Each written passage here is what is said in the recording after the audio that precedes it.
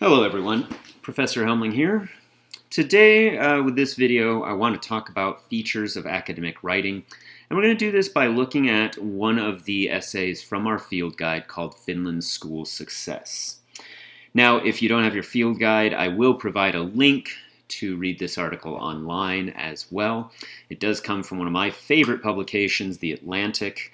Uh, it's a magazine that's been running for over a century um, and is now online with great articles every weekday, so you should check that out. Now, according to our field guide editors, academic writing should include a couple of different features. And they say it should include evidence that you as the author have considered your subject carefully, should include a response to what others have said about the topic you're writing about, a clear and appropriately qualified thesis, good reasons supported by solid evidence for your position on the subject, acknowledgement of multiple perspectives, proof that you're thinking through the different ways of approaching your topic, a confident, authoritative stance. Your kind of um, general approach to the topic should be confident and authoritative. Carefully documented sources and careful attention to correctness. Now, this is quite a list, and these are very broad statements, and this is not exactly a very helpful checklist of what do I want to make sure I'm doing when I'm writing academically. But in here are a number of good ideas, a lot of them that overlap. And so uh, if you notice, we've got a lot of similarity in some of these. They talk about evidence, they talk about being careful. And so I would really sum this up, all this list, as what you want in academic writing is careful thinking based on evidence. That's what really makes academic writing stand out. So let's keep that in mind as we look through this first sample passage. Now, like I said, this article um, is in our field guide.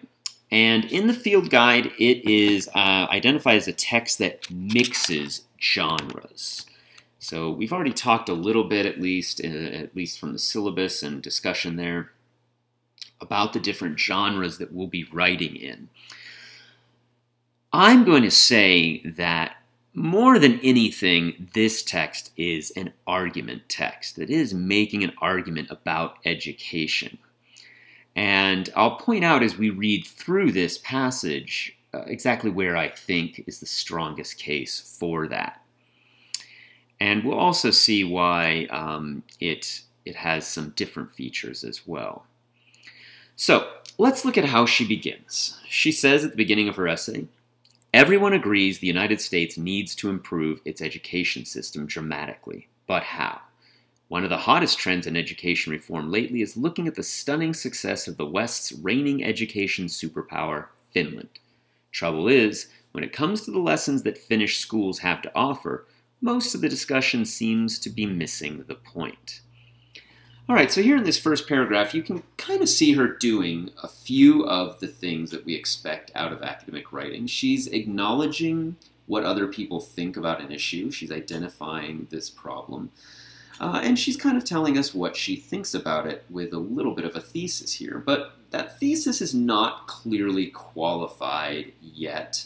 Um, we could certainly uh, go into a lot more detail than most of the discussion seems to be missing the point. She's not telling us exactly what the point is yet, so we don't have a clearly qualified thesis. And also, her discussion of what others think here is very brief. In fact, this whole paragraph is very, very short.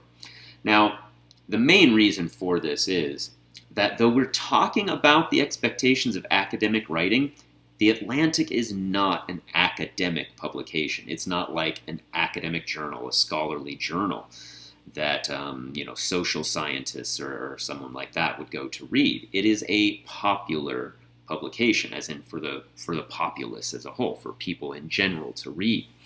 So really, this is not strictly speaking, academic writing, but it does have a lot of features. And that's one of the great things about our field guide is that it mixes a lot of different models for you to learn from.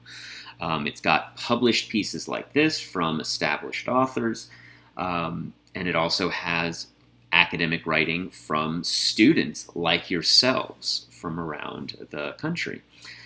So um, this this is an interesting model for us to learn from. And so, like I said, we don't have a clear, really precise thesis here in the introduction.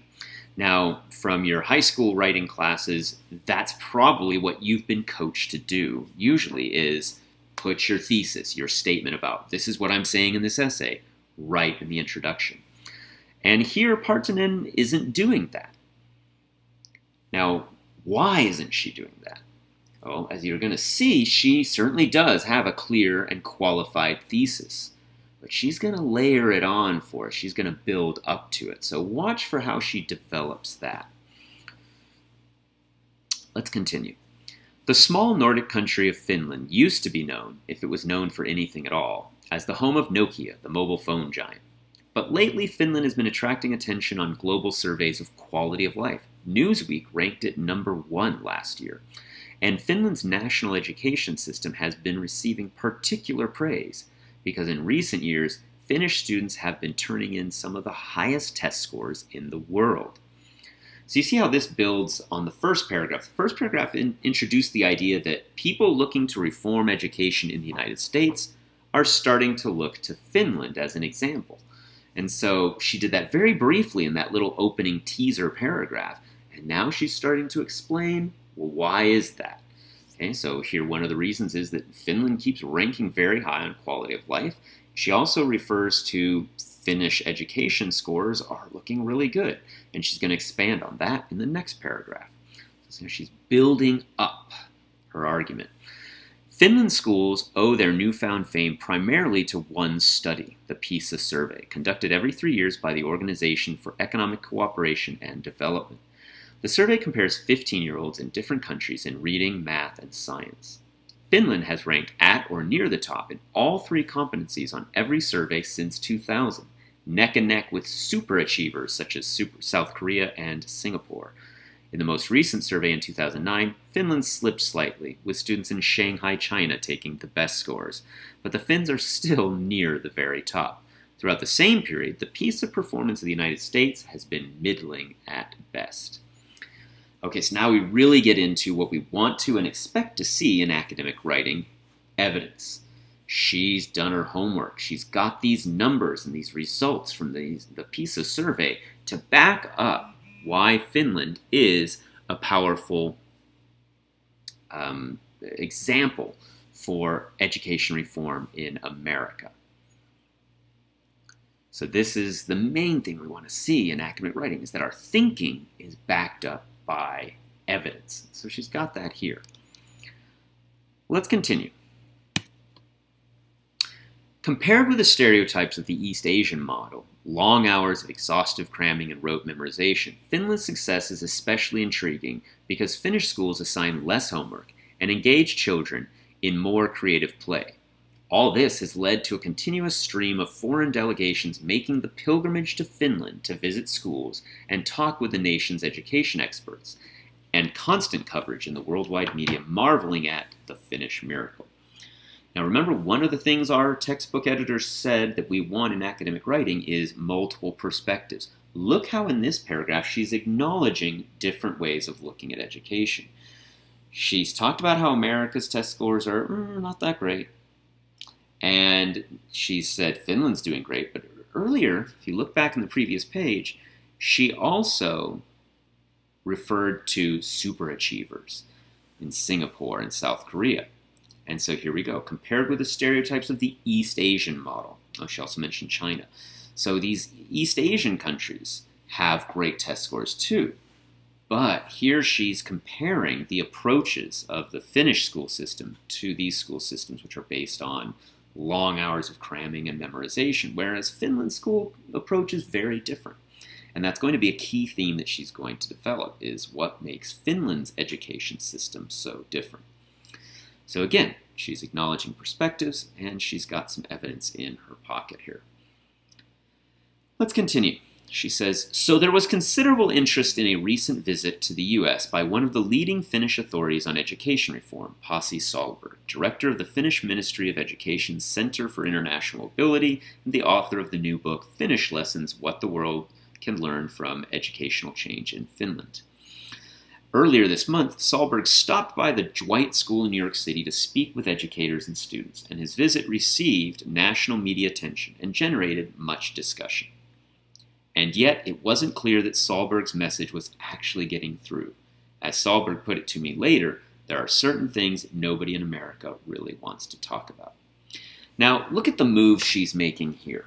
And by the way, if you haven't already heard me talk about this in another video or face to face, depending on how this class is meeting, um, I use that language a lot. I talk about the moves that authors make, the little choices that they make in crafting their pieces. So we've already seen her set up Finland as an example and compare it to the East Asian model. But now here in this big paragraph where she says, so there was, she's doing something different. She's introducing an individual figure to us. And notice that she establishes all his credentials and why he's an important person to listen to. But she's also starting to kind of set up a narrative thread here, like a little story within the essay. So this is a structural change she's making here. Before she's been talking in general, with general statistics and figures, and now she's got a person. She's putting a face and a voice to this issue, this expert, Pasi Sahlberg, And his visit to New York, she's going to tell us what happens when he comes to New York and gives this big talk at the Dwight School in New York City. But also notice this little move she makes in this tiny little paragraph at the bottom of our screen here. And yet it wasn't clear that Sahlberg's message was actually getting through. This connects directly back to the way that she stated the issue before. If you look back at the beginning here, most of the discussion seems to be missing the point. So again, she hasn't come right out and stated her thesis, but she's teasing us with this idea that, yes, people are looking at Finland, but they're not taking away the real lesson that they need to. And so, of course, she's kind of building this up for us, almost with suspense, right? It's like, well, what is that lesson? What is it that the people in America don't really want to talk about? So it's a different approach to her main idea, a different way to present her thesis. She teases us with it at the beginning instead of stating it outright in full qualified form. But as you're going to see, it gets built up more and more, and by the end, we certainly really understand what her thesis is. All right, let's continue with the essay now that she's got Sahlberg in here and she's kind of telling the story of his visit.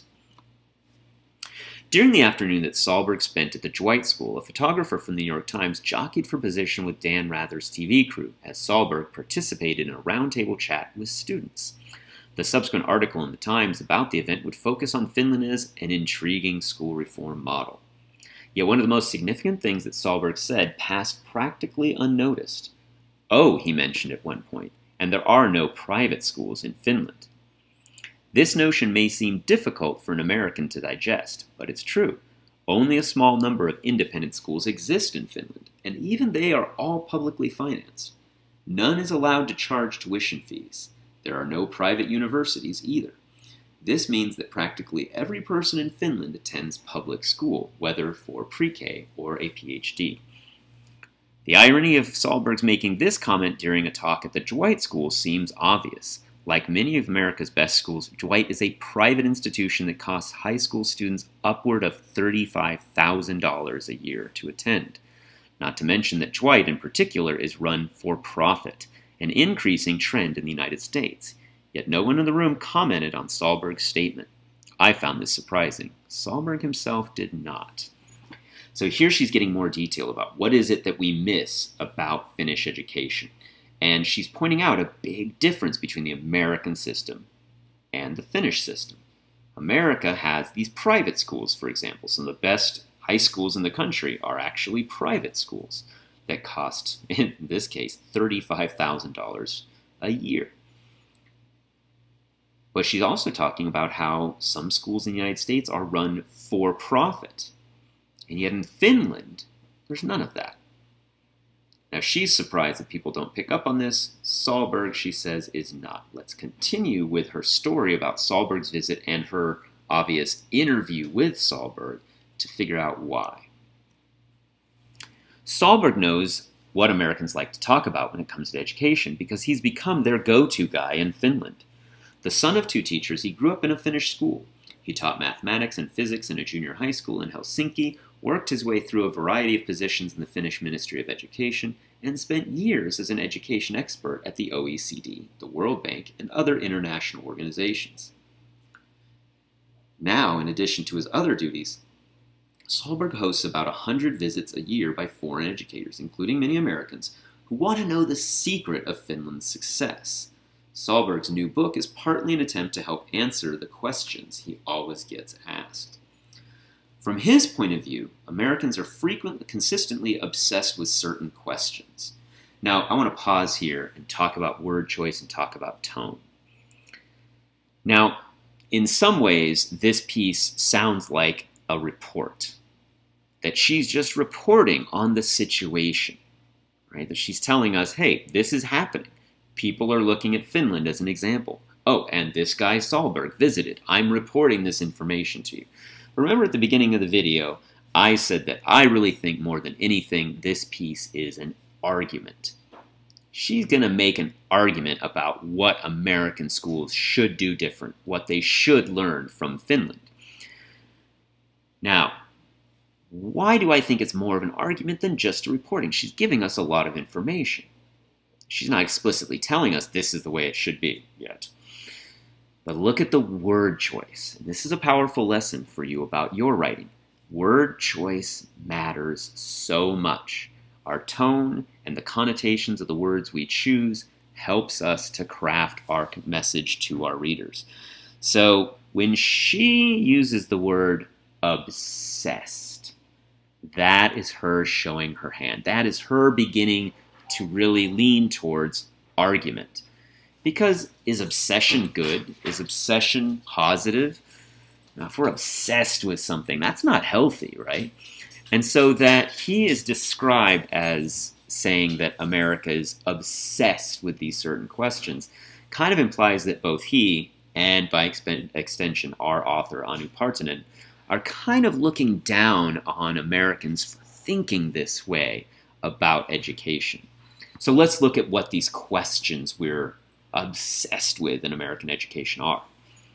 How can you keep track of students' performance if you don't test them constantly? How can you improve teaching if you have no accountability for bad teachers or merit pay for good teachers? How do you foster competition and engage in the private engage the private sector? How do you provide school choice? So you may not understand the full weight of all these questions, depending on how familiar you are with education and how it's changed in the United States over the last couple of decades. Um, as a teacher who's been teaching for all of those decades, I can tell you these questions really sum up the direction of American educational reform as we've gone to lots of tests and lots of pressure on teachers and lots of focus on um, you know the private sector and quite a bit of emphasis from certain voices in the political spectrum about oh we should provide school choice people should be able to pick and choose from their schools so these questions really sum up the American attitude towards education right now and he's saying those are different questions than what Finns ask at their schools. So the answers Finland provides seem to run counter to just about everything America's school reformers are trying to do. For starters, Finland has no standardized tests. Can I get a hallelujah? All right, the only exception is what's called the National Matriculation Exam, which everyone takes at the end of a voluntary upper secondary school roughly the equivalent of American high school. Instead, the public school system's teachers are trained to assess children in classrooms using independent tests they create themselves. All children receive a report card at the end of each semester, but these reports are based on individualized grading by each teacher. Periodically, the Ministry of Education tracks national progress by testing a few sample groups across a range of different schools. So, the first question that's being addressed here is testing, which has become super important in American schools, or at least was before the pandemic. Now there may be some changes coming. But it's been super important for the last two decades in American education, and Finland doesn't use them, doesn't use these tests at all. And of course, the interesting thing, if I can just editorialize a little bit with my own point of view, the interesting thing about these tests is America's been obsessed with these tests, and yet, on international comparisons, these tests haven't helped us get better. So, how does Finland do it differently? Well, they have individualized grading by teachers.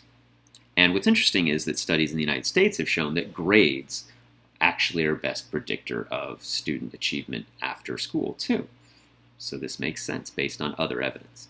Okay, but let's focus on her argument. I'm adding too much of my own argument in here, so let's focus on hers. The next point is teachers. As for accountability of teachers and administrators, Sahlberg shrugs. There's no word for accountability in Finnish, he later told an audience at the Teachers College of Columbia University. Accountability is something that is left when responsibility has been subtracted. For Sahlberg, what matters is that in Finland, all teachers and administrators are given prestige, decent pay, and a lot of responsibility. A master's degree is required to enter the profession, and teacher training programs are among the most selective professional schools in the country. If a teacher is bad, it's the principal's responsibility to notice and deal with it. And while Americans love to talk about competition, Sahlberg points out that nothing makes Finns more uncomfortable. In his book, Sahlberg quotes a line from Finnish writer named Samuli Paronen. Real winners do not compete. It's hard to think of a more un-American idea. But when it comes to education, Finland's success shows that the Finnish attitude might have merits. There are no lists of best schools or teachers in Finland. The main driver in education policy is not competition between teachers and between schools, but cooperation.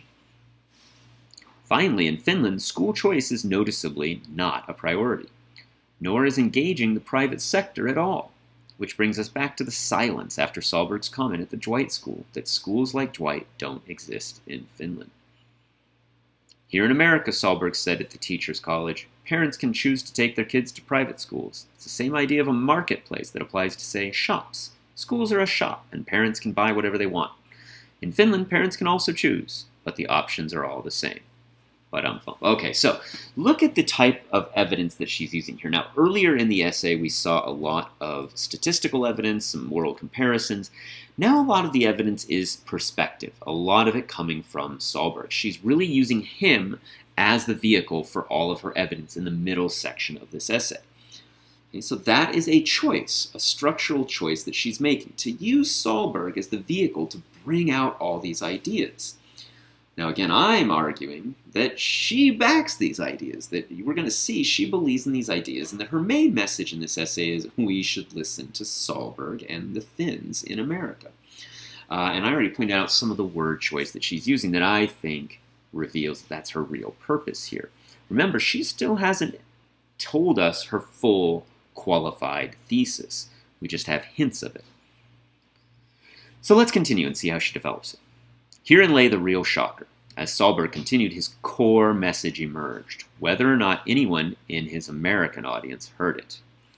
Decades ago, when the Finnish school system was badly in need of reform, the goal of the program that Finland instituted, resulting in so much success today, was never excellence.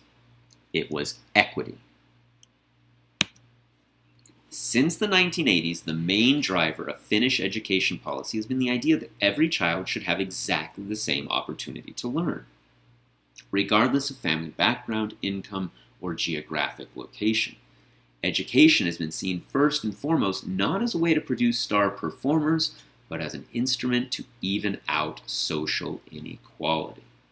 So now we're really getting to it. This is what she just identified as Sahlberg's core point. Okay, so this is really closely tied to her main argument. In the Finnish view, as Sahlberg describes it, this means that schools should be healthy, safe environments for children. This starts with the basic. Finland offers all pupils free school meals, easy access to healthcare, psychological counseling, and individualized student guidance. In fact, since academic excellence wasn't a particular priority on the Finnish to-do list, when Finland's students scored so high on the first PISA survey in 2001, many Finns thought the results must be a mistake. but subsequent PISA tests confirmed that Finland, unlike, say, very similar countries such as Norway, was producing academic excellence through its particular policy focus on equity. That this point is almost always ignored or brushed aside in the US seems especially poignant at the moment, after the financial crisis and Occupy Wall Street movements have brought the problems of inequality in America into such sharp focus. The chasm between those who can afford $35,000 in tuition per child per year, or even just the price of a house in a good public school district, and the other 99% is painfully plain to see. Now, she's again writing in 2011 after the big financial crisis in 2008, but this idea of uh, inequality and inequity in American schools and in American society is still very, very prominent. Uh, it's something that came up. Uh, I'm, I'm recording this video at the end of summer in 2020, where we've just had the pandemic and a resurgence of the Black Lives Matter movement, both of which focused a lot on inequality because we're seeing how people with uh, different economic background had access to better health care. Uh, people with different um, backgrounds had better access to uh, the, the, good resources in the criminal justice system, things like that. So this emphasis on inequality is still very much part of the debate about the nature of American society. And when it comes to education, most of our education dollars are funded through property taxes. So you can see the inequality there, the inequity, is that if you go to school in a district with high property values, big houses, rich families, well, then that school is going to have more money and more resources. So that's a big problem. And she's really pointing out how it's at odds with the way that Finland has achieved such success here. Let's see how she continues to develop this. Pasi Sahlberg goes out of his way to emphasize that his book, Finnish Lessons, is not meant as a how-to guide for fixing the education systems of other countries. All countries are different, and as many Americans point out, Finland is a small nation with a much more homogenous population than the United States. Now remember, one of the things we expect academic writing to do is acknowledge other perspectives and to pay attention to what other people have said about the issue. So look at what she's doing here. She's doing exactly that. She says, you know what some people say is Finland is a little country, little Nordic country. You can't compare Finland to the United States. And what she's really setting up here, and one of the reasons I say this is an argument essay, she's really setting up a counter argument. Counter argument is when you acknowledge what somebody who disagrees with you says, but then you take it apart and you refute it so that it's still able to back up your argument. Okay, so the two basic moves of counter argument are concession, yes, people say this, and then refutation. But in reality, this is the case. So let's see how she does that. Yet Sahlberg doesn't think that questions of size or homogeneity, homogeneity should give Americans reason to dismiss the Finnish example. Finland is a relatively homogeneous country. As of 2010, just 4.6% of Finnish residents had been born in another country, compared with 12.7% in the United States. But the number of foreign-born residents in Finland doubled during the decade leading up to 2010, and the country didn't lose its edge in education. Immigrants tended to concentrate in certain areas, causing some schools to become much more mixed than others. Yet there has not been much change in the remarkable lack of variation between Finnish schools in the PISA surveys across the same period. So, one the complaint, the point that people made is, oh, well, Finland's not as uh, diverse as America. And so she points out, well, it's become more diverse, and that growing diversity didn't affect its score. So she's counter arguing here. Samuel Abrams, a visiting scholar at Columbia University's Teachers College, has addressed the effects of size and homogeneity on a nation's education performance by comparing Finland with another Nordic country, Norway. Like Finland, Norway is small and not especially diverse overall, but unlike Finland, it has taken an approach to education that is more American than Finnish. The result? Mediocre performance in the PISA survey. Educational policy, Abrams suggests, is probably more important to the success of a country's school system than the nation's size or ethnic makeup. So again, another counterargument, and again, evidence. What really makes this a use, this essay a useful model to us for our academic writing is how well she's using evidence to make these points. Here, since she's rested so much on Sahlberg so long, she brings in another expert to make a comparison between Finland and Norway. They are similar countries that took very dissimilar approaches to education reform. Norway followed America's example. It's like, let's try some testing. And she's pointing out Finland's approach worked better. Pasi Sahlberg goes out of his way to emphasize that his book Finnish Lessons is not meant as a how. Oh, oh sorry. I started reading the page again. Sorry. No, what I wanted to flag there is that this is, as we said, acknowledgement of multiple perspectives. Okay, on this page we get a lot of that. Okay, now let's move on to the next page. Indeed, Finland's population of 5.4 million can be compared to many an American state. After all, most American education is managed at the state level. According to the Migration Policy Institute, a research organization in Washington, there are 18 states in the United States in 2010 with an identical or significantly smaller percentage of foreign born residents than Finland.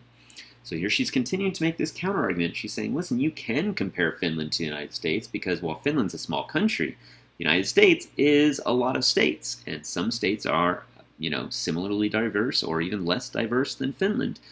And since it's states that manage education, the comparison applies.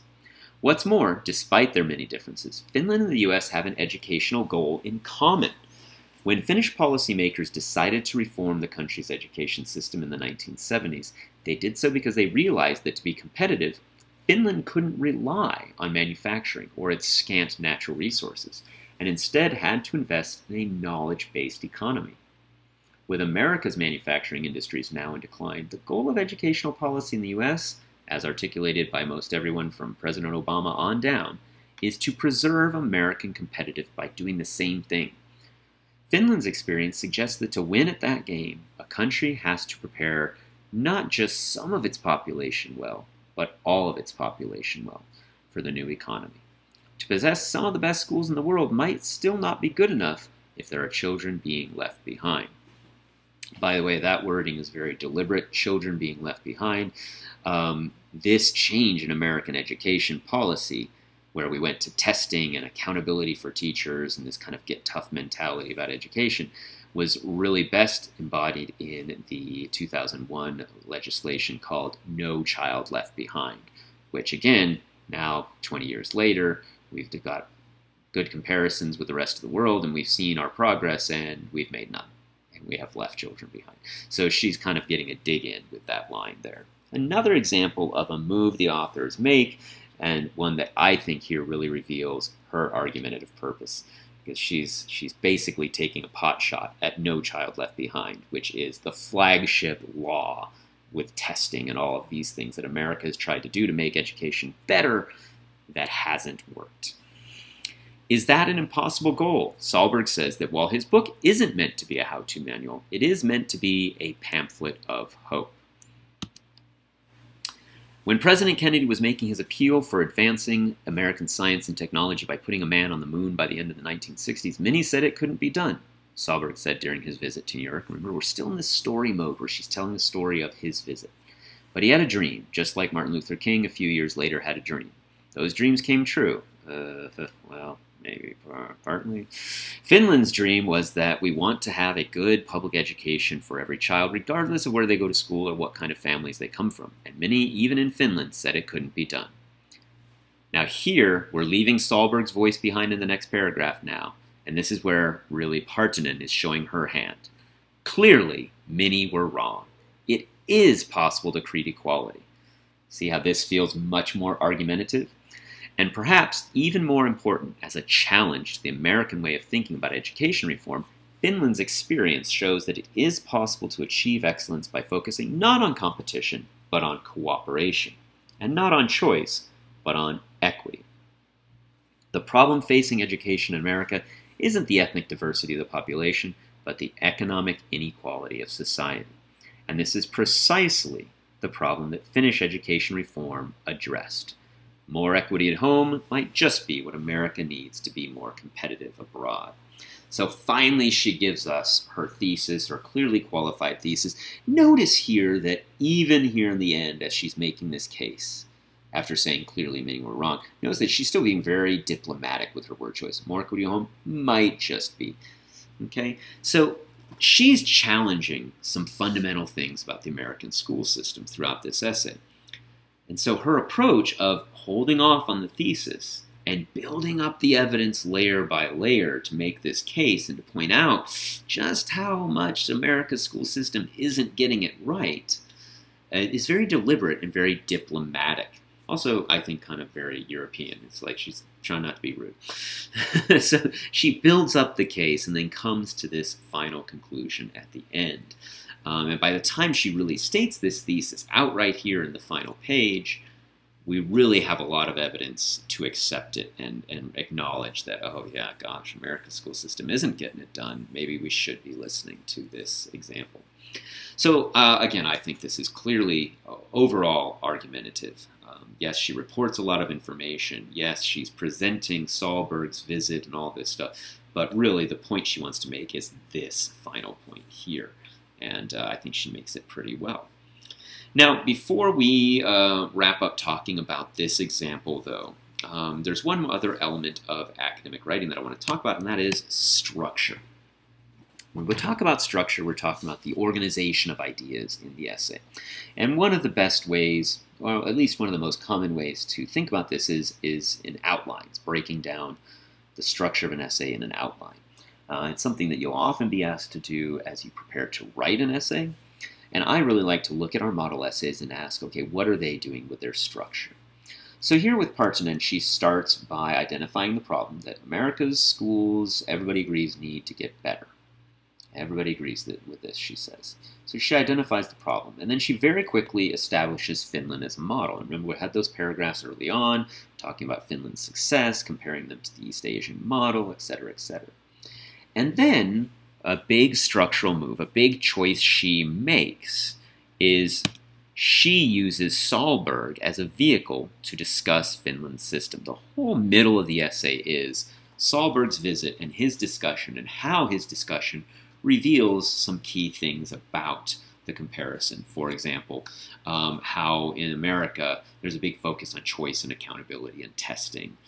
And then by contrast, Finland is focused on equity. So that's really the heart of the essay is that she uses Sahlberg to do all of that. And then it's at the end that she brings all of this together to make her final conclusion, which is her well-qualified thesis, something we expect to see in academic writing there. So uh, I just wanted to look at that structure in a very broad sense here, this very short outline of the main points in her essay to get a sense of how she's choosing to do that, because think it's a pretty effective structure, and we talked about how it delays the thesis there, and by the time she does bring it, there's a ton of evidence to really help us accept it. So that's a quick breakdown of this sample text. Again, it's in your field guide, um, and uh, you can look at it as a model for your own writing in the future. I think she does a lot of things well, especially her use of evidence. We talked at the beginning of this video about how careful use of evidence to show our thinking is the really central thing we want to do in academic writing. So keep that in mind as we move into looking at different genres for your own writing. And uh, we will look at other model texts in similar depth soon. Thanks and take care.